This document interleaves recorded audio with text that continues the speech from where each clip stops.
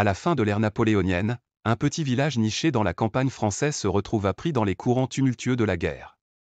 Nous sommes en 1805 et le spectre d'un conflit plane sur l'Europe. Dans ce hameau pittoresque, la vie de ses habitants était sur le point d'être changée à jamais. Au cœur du village se dressait une modeste auberge, la Rose d'Or, propriété de l'aimable veuve Madame Marguerite. Son auberge est devenue un refuge pour les voyageurs, les soldats et les habitants cherchant refuge contre l'incertitude extérieure. Parmi les habitués de l'auberge se trouvait Julien, un jeune homme ambitieux dont les rêves de gloire étaient enflammés par les récits des triomphes de Napoléon. Un soir fatidique, alors que le soleil disparaissait sous l'horizon, projetant de longues ombres sur les rues pavées, un officier français blessé entra par hasard dans l'auberge. Le lieutenant Antoine Duval, son uniforme taché du sang des combats, s'effondre sur le seuil. Madame Marguerite, toujours compatissante, pensait ses blessures avec l'aide de Julien.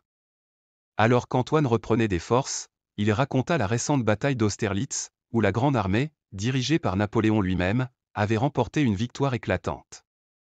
Les villageois ont écouté avec admiration le lieutenant décrire la grandeur des forces françaises et le génie stratégique de leur chef. Dans les jours qui suivirent, les rumeurs sur les exploits de Napoléon se répandirent comme une traînée de poudre dans le village et une ferveur pour la cause de l'empereur s'enflamma dans le cœur de ses habitants. Julien, inspiré par les histoires et le charismatique lieutenant, s'engage à rejoindre l'armée et à contribuer à la gloire de la France. Le village s'est transformé en un centre d'activité, alors que les forgerons locaux forgeaient des armes, que les femmes cousaient des uniformes et que l'auberge devenait un lieu de rencontre pour les recrues. Alors que l'hiver s'installe, les villageois, autrefois simples agriculteurs et artisans, se retrouvent entraînés dans les courants de l'histoire. Le printemps suivant, au parfum des fleurs épanouies, Julien fait ses adieux à Madame Marguerite, sa maison d'enfance et au village devenu un fervent bastion du patriotisme. Aux côtés du lieutenant Antoine Duval et d'autres recrues enthousiastes, Julien embarque pour un voyage qui le mènera au cœur des campagnes de Napoléon. Alors que la guerre se déroulait, le village attendait avec impatience des nouvelles du front. Les changements de saison reflétaient les fluctuations de la fortune, et le sort de Julien et de ses camarades restait incertain. Les ombres d'Austerlitz, projetées par l'auberge du village, s'étendaient sur le paysage, alors que l'époque napoléonienne laissait une marque indélébile dans la vie de ceux qui osaient rêver de gloire face à la guerre.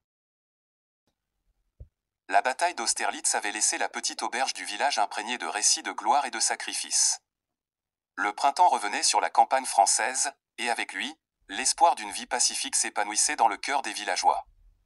Madame Marguerite, bien que fière du rôle que son auberge avait joué dans la geste de la Grande Armée, rêvait d'une époque sans guerre, où les enfants pourraient grandir sans craindre les échos lointains du canon. Julien, revenu du champ de bataille avec la marque de l'héroïsme sur son visage, partageait ce rêve. Le village, reconnaissant envers ceux qui s'étaient levés pour défendre la patrie, se lança dans la reconstruction. Les champs furent labourés, les maisons réparées, et un sentiment de normalité revint lentement.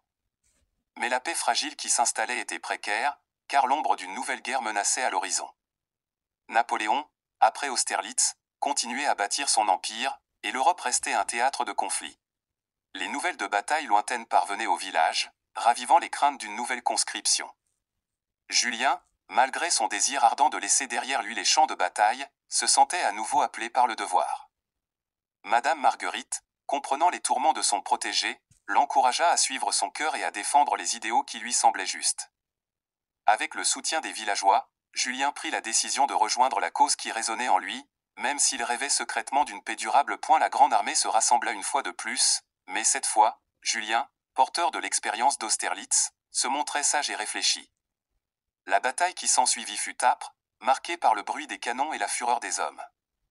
Julien, désormais un vétéran, combattit avec la détermination d'un homme qui avait vu les deux côtés de la guerre.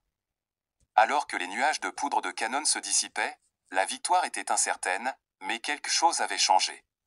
Les idéaux de liberté et de fraternité avaient été défendus, et Julien, épuisé mais vivant, se tenait parmi les survivants. Point de retour au village, le héros de deux batailles retrouva Madame Marguerite, dont les yeux reflétaient une fierté mêlée de préoccupation. Le village, façonné par l'ombre d'Austerlitz, avait appris que la paix était précieuse et que la liberté demandait parfois le sacrifice de ceux qui la chérissaient. Point ainsi se conclut l'épopée commencée avec Laisse les ombres d'Austerlitz, laissant derrière elle un village résili, forgé par la guerre et par les rêves de paix qui persistaient malgré tout.